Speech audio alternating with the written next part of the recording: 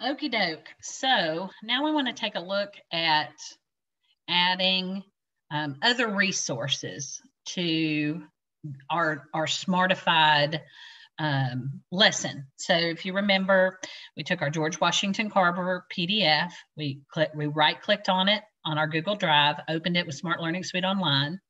We've already added quite a bit of smartification to our lesson. We've added games. We've turned that original PDF file into um, a digital worksheet. And we've added formative assessment.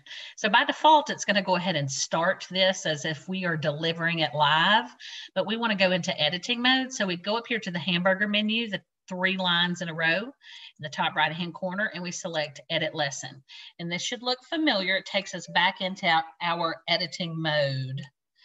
So um, when I select that, if you'll remember, I go down to my blue plus sign and this is all the different types of content that I can add. So we're gonna take a look at adding some of these ready-made resources. And you'll see there are four different kinds.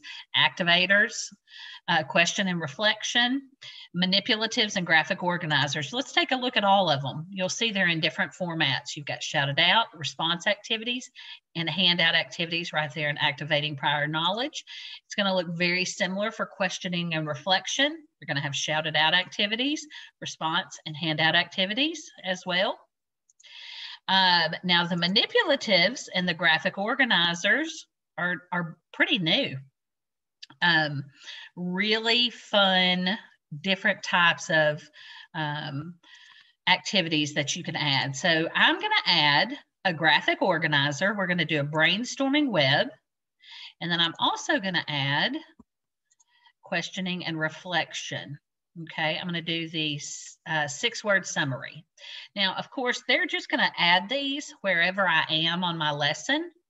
I know that I want my six word summary to be the very last thing because that, I'm going to use that as my exit ticket. So I remember all my pages are drag and drop. But maybe I want my brainstorming web to go right after my activator. And my activator in this case was a Shout It Out activity, if you remember.